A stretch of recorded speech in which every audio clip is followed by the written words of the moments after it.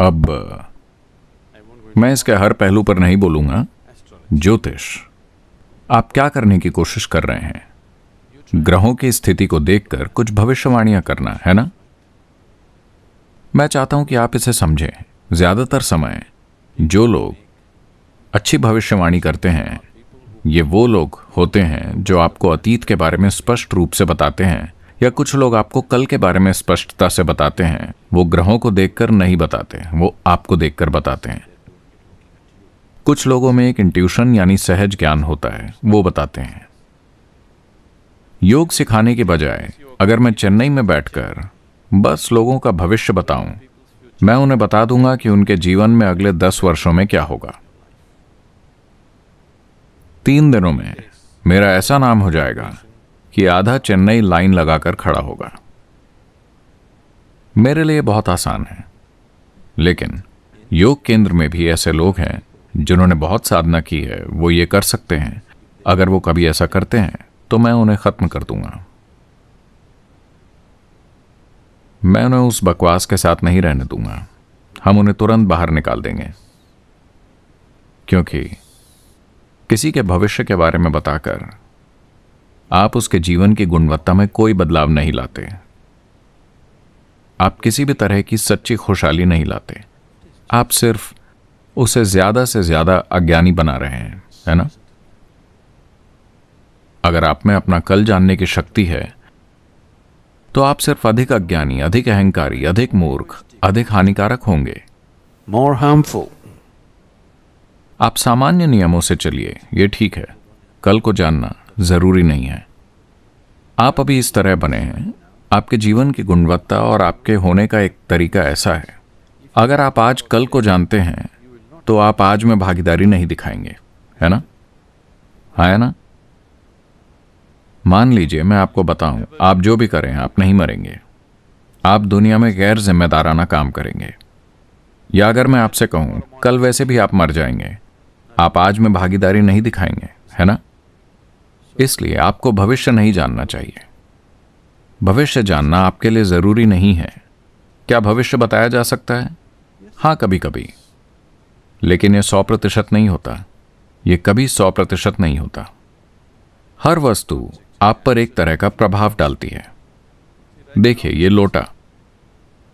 इसके आकार और इसकी धातु के कारण इसका एक तरह का प्रभाव है। ये एक तरह का स्पंदन फैला रहा है। अगर मैं इस लोटे को मुझे प्रभावित करने देता हूँ, मैं उसे अपने पास रखता हूँ क्योंकि ये काफ़ी अच्छा दोस्त है। मैं प्लास्टिक का बर्तन नहीं रख रहा, क्योंकि मुझे उसकी कई चीज़ें पसंद नहीं है। मैं इसे रखता हूँ क्योंकि ये अच्छी चीज़ें कह रहा है। मैं हमेशा अच्छी संगत में हूँ, जरा देखिए। पर अब, अगर मैं इस बर्तन को मुझे बहुत अधिक प्रभावित करने देता हूँ तो धीरे धीरे मैं एक बर्तन जैसा बन जाऊँगा। This will happen to you आपके साथ ऐसा होगा। बहुत से लोग बर्तनों जैसे हो गए हैं। है ना? वो चीज़ों को इतनी गहराई से प्रभावित करने देंगे वो वैसे ही बन जाएँगे। अब मैं इस तांबे के बर्तन को मुझे प्रभावित करने नहीं दूँगा। पर मेरी संगत में होने के नाते वो इतना प्रभावित है। आप देखेंगे आप एक और तांबे का बर्तन लीजिए। आप मुझे कुछ भी दीजिए। आप मुझे कोई भी चीज़ दीजिए, मुझे बस 20 सेकंड दीजिए। Give it to me for 20 seconds. मैं इसे अपने हाथ में रखकर आपको वापस दे दूँगा। ये अलग होगा। अगर आप संवेदनशील हैं तो आप महसूस कर पाएँगे कि ये बिल्कुल अलग है। तो सवाल सिर्फ़ ये है, क्या आप चीज़ों को खुद को प्रभावित करने देंगे या आप उन्हें प्रभावित करेंगे? ग्रह निश्चित रूप से बड़ी चीज़ें हैं। तो उनके कुछ कंपन हैं। उनके आसपास की हर चीज़ पर कुछ प्रभाव होता है। अगर वो इस ग्रह के पास हैं तो हाँ। क्या आप जानते हैं? पूर्णिमा और अमावस्या के दिन। पूर्णिमा और अमावस्या के दिन। जो लोग थोड़ा मानसिक रूप से परेशान या असंतुलित हैं, बहुत अधिक असंतुलित हो जाते हैं। हाँ? यहाँ तक कि सागर पागल हो जाता है है ना? क्या आप सभी पागल हो जाते हैं? महीने में दो बार? कुछ लोग कुछ नहीं कह रहे हैं।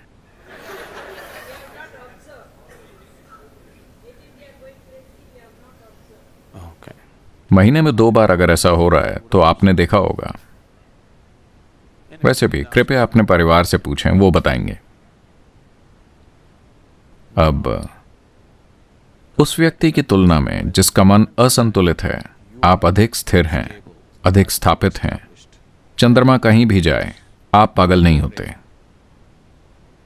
अगर आप और भी ज़्यादा स्थापित हैं तो कोई ग्रह कहीं भी जाए, आप पागल नहीं होते, बस। आपके जीवन का उद्देश्य और भाग्य आप तय करते हैं, कोई और नहीं बल्कि आप। हाँ हर चीज़ का प्रभाव होता है, पर उस प्रभाव से आप क्या बनाते हैं, वो फिर भी आपके हाथों में है है ना? पर अगर आप बेजान चीज़ों के धक्के खाने वाले हैं तो हाँ आपको धक्के दिए जा सकते हैं। उस हद तक ये सच है। मैं कह रहा हूँ। When the divine is functioning within you, when the creator is functioning within you, why are you allowing inanimate things to influence your जब आपके भीतर परमात्मा काम कर रहा है जब निर्माता आपके भीतर काम कर रहा है तो आप बेजान चीज़ों को अपने जीवन को प्रभावित क्यों करने दे रहे हैं? अगर आप इस आयाम को खुद में खिलने देते हैं तो आप देखेंगे कि जीवन शानदार हो जाएगा। तारों को कहीं भी जाने दीजिए। ग्रहों को कहीं भी जाने दीजिए। आप वहीं जाएँगे जहाँ आप जाना चाहते हैं। आप जहाँ जाना चाहते हैं, वहाँ जाना चाहते हैं? या आप बेजान चीज़ों से धक्के खाना चाहते हैं? ये आपको तय करना है। अब, वो कुंडली में लिख कर दे रहे हैं कि आप कैसे रहने वाले हैं।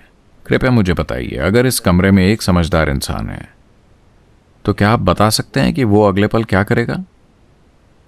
वो कुछ ऐसा कर सकता है जो किसी ने कभी नहीं किया, है ना? अगर यहाँ कोई मूर्ख है, अगर आप उसे देखते हैं तो आप कह सकते हैं, ठीक है, आप ऐसे जिएँगे। अगर वो इसे कागज़ पर लिख के दे सकते हैं कि अपना जीवन ऐसे जिएँगे तो क्या करें? मतलब आप बुद्धि का उपयोग करने से इनकार कर रहे हैं, है ना?